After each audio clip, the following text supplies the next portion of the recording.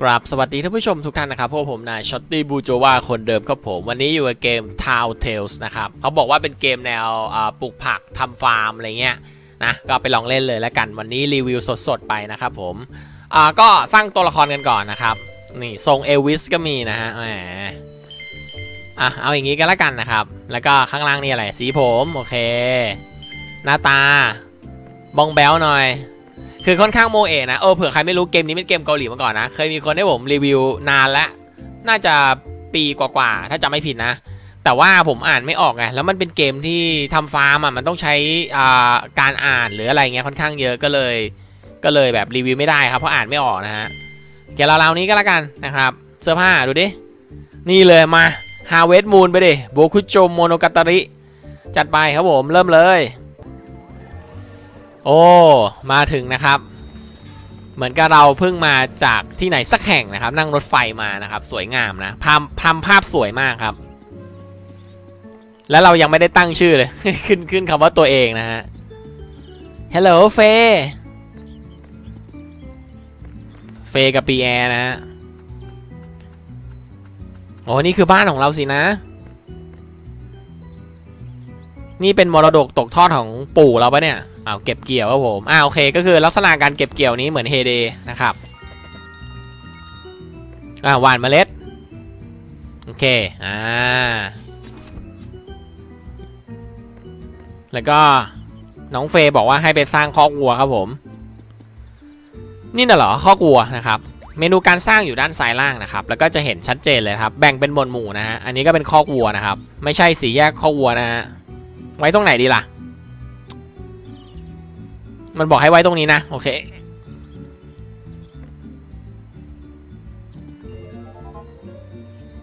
แล้วก็แจ้งด้วยว่าเรามีเงินซื้อวัวแค่ 3 ตัวครับ แล้วไงล่ะจัดไปดิ ลากไปนะครับ โอเค แต่ข้องนี้รู้สึกจะอยู่ได้แค่ 5 ตัวเนาะ เอาล่ะนี่อะไรเนี่ย อ่า ที่ทำอาหารวัว โอเค ก็คือใช้ ที่เราเก็บเกี่ยวผลผลิตมาเมื่อกี้นะครับมาทำได้นะครับนี่ไงแล้วก็แน่นอนครับเกมประเภทนี้ถ้าอยากจะทำอะไรเร็วขึ้นก็ต้องใช้เงินแคนนะครับจัดไป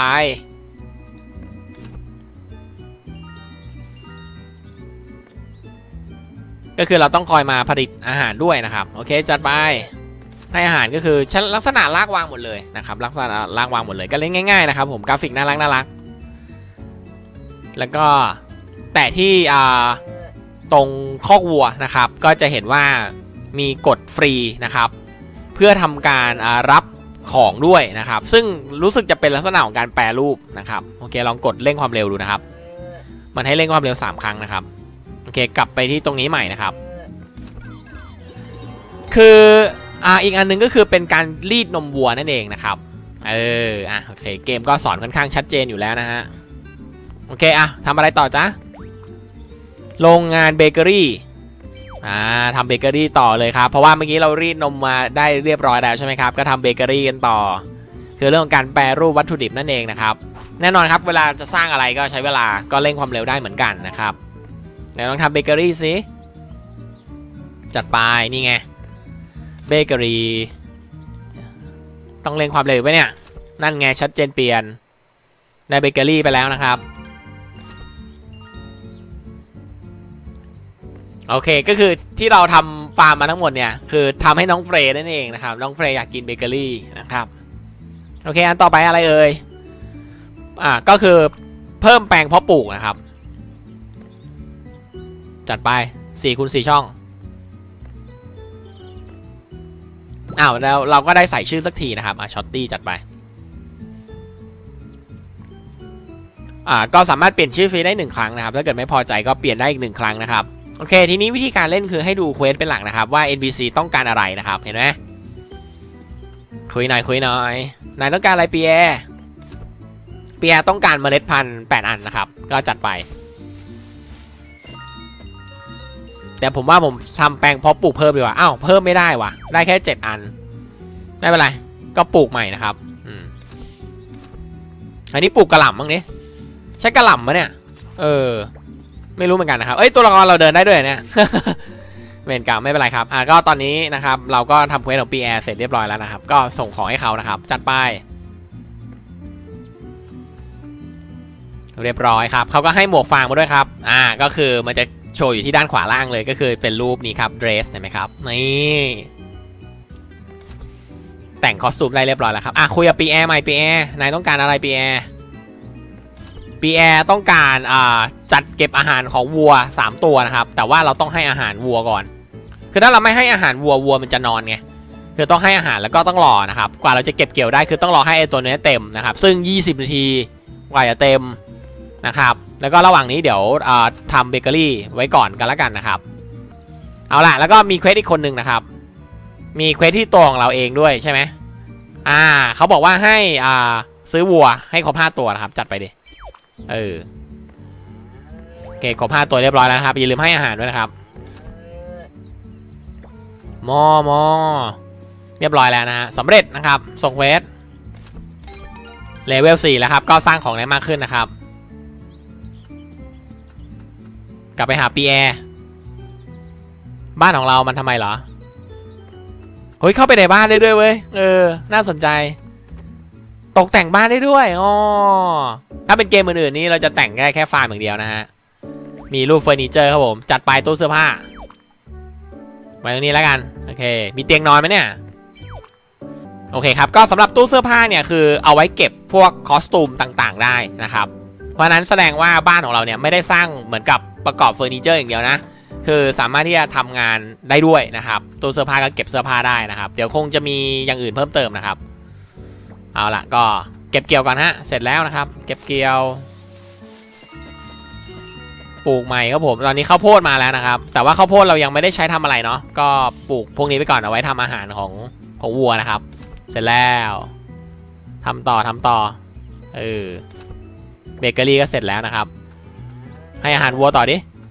เอาวัวหลายตัวก็คือมันกระโดดกระโดดอย่างนี้แสดงว่าวัวเก็บเก็บนมได้แล้วนะครับ โอเค เก็บนมวัวครับผมทำเบเกอรี่ต่อ ไม่พออีกแล้วเออ ลืมไปว่าเมื่อกี้ผมเอามาทำทำอาหารวัวซะหมดนะครับ ไม่เป็นไรไม่เป็นไร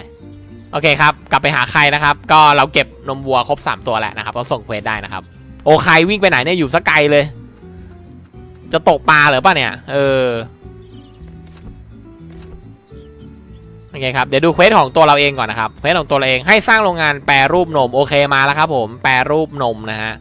เมื่อกี้เรามีนมมาแล้ว คราวนี้เราจะแปรรูปแล้วนะครับ ก็สร้างไปก่อนแล้วกัน เพราะว่ามันต้องใช้เวลาเนาะอะให้อาหารวัวต่อครับ อาหารผลิตไม่ทันแฮะ เออ อ๋อ เดี๋ยวจะมีไก่ด้วยทำอาหารไก่ อ่า แล้วก็สามารถใช้เงินแค่ในการเพิ่มอ่าช่องได้ เราจะได้อนี่ได้มากขึ้น ผลิต ของได้อ่ามากขึ้นในเวลาเดียวกันนะครับอ้าวเสร็จแล้วเหรอทำไมไวจัง เรียบร้อยครับสำเร็จแล้วนะฮะแล้วก็เดี๋ยวเอานมมาทำเป็นเนยถูกต้องครับผมอ่ามันไม่ได้ให้ทำหรอกแต่ผมทำล่วงหน้านะครับโอเค ไปหาน้องเฟย์ครับโอ้น้องเฟย์มาโคตรไกลเลยทำอะไรเนี่ยน้องเฟย์นะครับบอกให้ไปคุยกับโฮปโอ้โหโฮปนี่ก็อยู่ไกลเหมือนกัน แต่ค่อนข้างดีนะตัวละครของเรามัน warp มาได้เลย ตัดฉากมาได้เลย ไปไหนต่ออะคุยกับโฮปต่อนะครับ จีบสาวได้ไหมเนี่ย โอเคครับ ผมเขาให้เก็บชีสซึ่งผมอ่าได้คาดการณ์ไว้ล่วงหน้าแล้วว่าเดี๋ยวมันจะมี quest ให้เก็บชีสนะครับ ก็เรียบร้อยแล้วนะฮะอะเดี๋ยวผมลองดูครับว่าสร้างอย่างอื่นเพิ่มเติมได้ไหมแปลงเพาะปลูกยังสร้างเพิ่มไม่ได้นะครับ คือตอนนี้เราต้องรอเวลาแล้วนะครับ เอ้ยแล้วนี่อะไรเนี่ย ที่มีรูปต้นไม้ขึ้น อะไรอะ อ๋อเป็น achievement ก็คือมารับที่อ่าตัวนี้ได้นะครับ เลเวล5แล้วครับผม อะไรกะเลเวล5แล้วเกิดอะไรขึ้น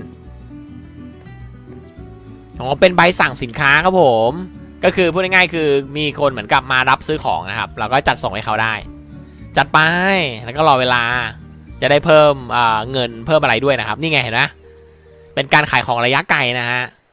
โอเคเควสมาใหม่แล้วครับที่ตัวละครผม สร้างเล้าไก่จัดไปดิอ่าเริ่มแออัดแล้วเนี่ย เอาไงดีวะเนี่ย ไว้ทางนี้ก็แล้วกันนะ ไกลไปว่ะ ไกลไปเดี๋ยวจะบริหารยาก ผมว่าอาจจะต้องเอเริ่มขยายพื้นที่หรือว่าจัดเก็บให้มันดีขึ้นละ ไม่ต้องห่างกันมากก็ได้ ประมาณนี้แล้วกัน สั่งเล้าไก่ครับ แล้วก็เก็บชีสโอเค เก็บได้ยัง โอเค เก็บชีสสำเร็จแล้วนะครับไปส่ง quest เรียบร้อยครับ ตอนนี้เลเวล6แล้วครับ คือค่อนข้างไวนะเกมค่อนข้างไวมากก็ดีนะครับ คือเขาเรียกว่าอะไรไม่กักระบบนะครับ จะได้แบบรีบพัฒนาฟาร์มได้ต่อนะครับ โอ้ยนี่ใครนะครับผม ชื่อไข่นะฮะโอเค ก็สามารถเอาของมาขายได้แล้วนะครับ ก็คืออ่าถ้าเกิดเราอยากจะแลกเปลี่ยนสินค้ากับชาวบ้านเขาก็คือเอามาขายที่นี่ได้นะครับ อืมนั่นแหละ เป็นขายของนะครับ โอเคครับ ก็จะเห็นว่าเมนูเริ่มเปิดขึ้นมาเยอะแล้วนะครับ ก็อีกอันหนึ่งคือระบบเพื่อนนะครับ ซึ่งเกมนี้ถ้าเกิดเราแอดเพื่อนกันไปเยอะๆเนี่ย เราสามารถที่จะไปเยี่ยมชมบ้านของเพื่อนได้ แล้วก็สามารถที่จะซื้อของของเขาได้ไง นี่ครับมาบ้านของใครเรียบร้อยแล้วครับ อ๋อ ใครไม่ปลูกผักไม่ปลูกอะไรเลยเหรอ นี่คือดีไซน์สวนสนุกหรือไงเนี่ย ดูดิเฮ้ยมีเสาชิงช้าด้วยเมื่อกี้ เอาใครฉันมาบ้านนายแล้วนะ มีอะไรขายบ้างเนี่ยบ้านนายเนี่ยนี่ไงเห็นป่ะครับ ก็เป็นลักษณะเดียวกันคือเรามาเยี่ยมชมบ้านเพื่อนแล้วก็สามารถซื้อของได้อย่างนี้ เออโอเคจัดไปนะครับ ก็เนี่ยแหละครับ เป็นระบบร้านค้านะครับโอเคกลับบ้านครับผมด้านซ้ายล่างนะครับ น่าจะพอเห็นภาพนะคือเกมนี้คือจะเป็นลักษณะของการเล่น อย่างเงี้ยไปเรื่อยๆนะครับ พัฒนาฟาร์มของเรานะครับสำหรับคนที่ชอบแนว simulation นะครับ คือสร้างบ้านสร้างฟาร์มอะไรอย่างงี้นะครับ แล้วก็กราฟิกค่อนข้างสวยงามนะครับอ้าวเดี๋ยวเก็บเกี่ยวเนื้อไม่ใช่เนื้อแหมเก็บเกี่ยวนมวัวได้แล้วครับเล้าไก่ก็เสร็จแล้วนะครับทำอะไรต่อล่ะ มีไก่ 6 ตัวจัดไปซื้อไก่เลยนะครับ 1 2 3 4 5 6 ครบครับผม จัดไปส่งเควสรัวๆนะฮะ ต่อไปทำอะไรล่ะทำโรงงานน้ำตาลครับผม อะ โรงงานน้ำตาล วางไม่ได้แล้วฮะ ต้องขยับว่ะ ผมต้องดีไซน์บ้านใหม่ เออ ผมอยากจะเอาพวกของให้มันใกล้เคียงกันไว้ด้วยกันไง เดี๋ยวค่อยดีไซน์บ้านใหม่แล้วกัน โอเค การดีไซน์บ้านใหม่คือกดอ่าคล้ายๆข้างๆรูปค้อนนะครับ ก็คือจะมีลักษณะของการย้ายโซนที่อยู่อยู่นะครับ ก็เดี๋ยวผมโยนอ่าไม่ใช่โยนนะสามารถลากให้มันแบบมาใกล้ๆกันได้นะฮะนี่ กดผิดก็เด้งไปนู่นเลยนะฮะเอาไหมไม่ผมจะไว้โรงงานแปรรูปใกล้ๆกันไงเออ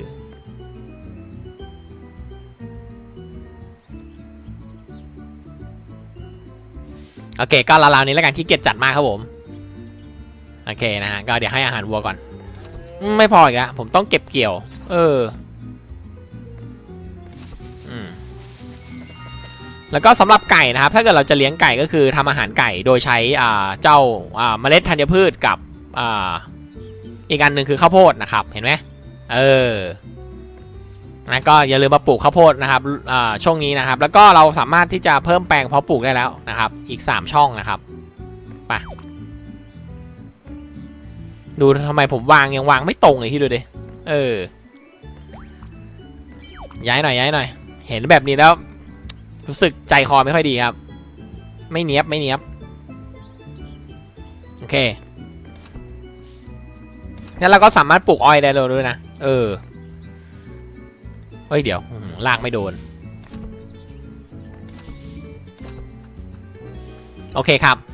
อะก็เล่นไว้ราวๆนี้ก็แล้วกัน เพื่อนๆน่าจะเห็นภาพแล้วก็คือเป็นลักษณะของอาการสร้างบ้านเมืองนะครับ ที่มีกราฟิกน่ารักมากนะครับ แล้วก็แปลเป็นภาษาไทยเรียบร้อยแล้ว ใครชอบแนวทำฟาร์มจัดไปเลยครับผมเกมนี้นะครับ สนุกจริง ๆ สนุกจริงๆนะครับสำหรับคลิปนี้เอาเท่านี้แล้วกันบ๊ายบายครับผม